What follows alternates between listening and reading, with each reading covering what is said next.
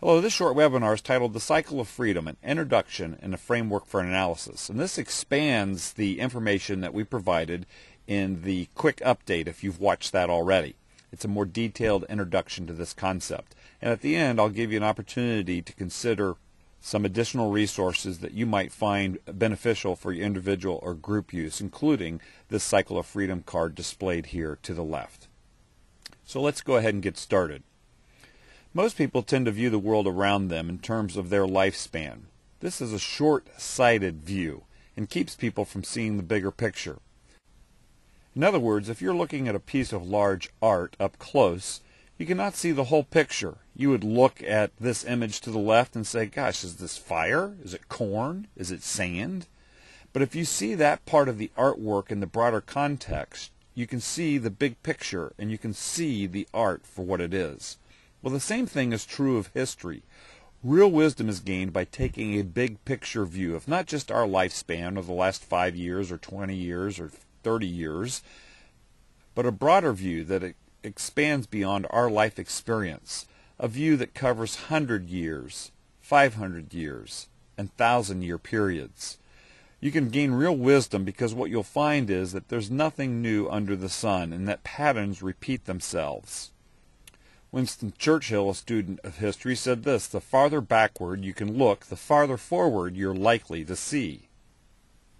Johann Wolfgang von Goethe, commonly known as Goethe, who is a German writer, historian, and politician, said this He who cannot draw upon 3,000 years is living hand to mouth. This is a great quote because what he is saying is if you can't draw upon the wisdom of the ages and the broad swaths of historical past, uh, you're going to be living hand to mouth. You will not understand the times and what's going on, and you'll not have true wisdom uh, for living. And so, what a proponent for understanding the big picture and the big picture story of history.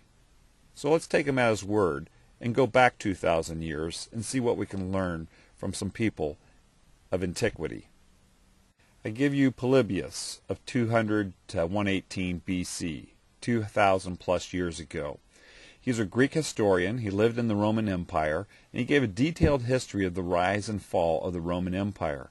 He wrote on the separation of powers, and his thinking influenced the founding fathers of America. Os Guinness, a current historian who studies Polybius, quotes him as saying this In fact, there's an ordained decay and change, or a natural cycle of constitutional revolutions, as nations rise, prosper, and fall. Anyone who understands this cycle of growth, zenith, and decadence is able to follow what is the regular cycle of constitutional revolutions, thus, the cycle of freedom that we're studying. Os Guinness goes on to say, this cycle of change is so clear and observable that if anyone takes the trouble to understand it and its causes, they would be able to apply the insight to the history of any nation and to assess accurately where the nation is in its cycle of growth or decline at any moment. So to continue on with Polybius. He perhaps may make a mistake as to the dates at which this or that will happen to a particular constitution, but he will rarely be entirely mistaken as to the stage of growth or decay at which it has arrived, or as to the point at which it will undergo some revolutionary change. And so that's why we've put together this Cycle of Freedom framework.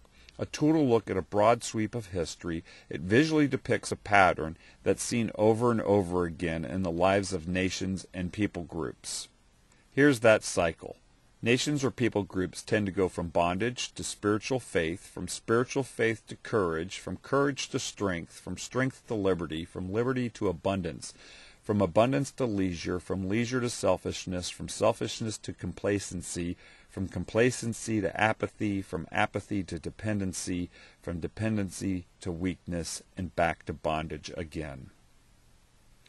Whenever this cycle is shown to someone, they usually are able to pick a place on the cycle in just seconds, and that's why it's so useful. Now let me pose four questions for your consideration, and you can pause these videos if you'd like more time.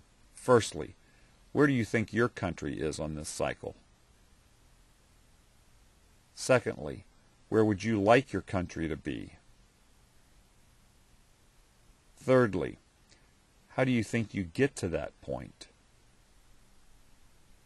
And then fourthly, a personal question, where's your life on this cycle? Because people groups and nations are made up of individuals. Now let me tell you where we're going with this series. We're going to make an assessment of the U.S. today. We're going to see how ancient wisdom verifies the cycle and who first expressed this cycle. We're going to take a look at the dynamic ingredient, the American experiment, 400 years of American history, and then additional insights from a business leader as well as an international perspective and how decline comes. And we'll also give thoughts on how a civilization stays free. Here are some resources that you might benefit from as you go through this series. We have the Cycle of Freedom cards that uh, you can purchase at the uscivicstraining.org uh, site. I would commend to you a great supplemental book by Os Guinness, A Free People Suicide. And this series is not based on this book, uh, but will lean on uh, some of Os Guinness's insights as a supplement to this series.